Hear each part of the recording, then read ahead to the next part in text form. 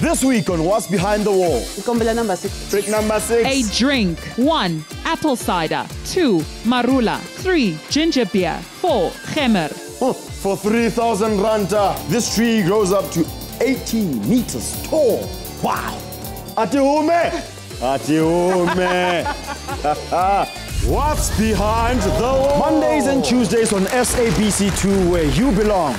Now you don't want to miss it.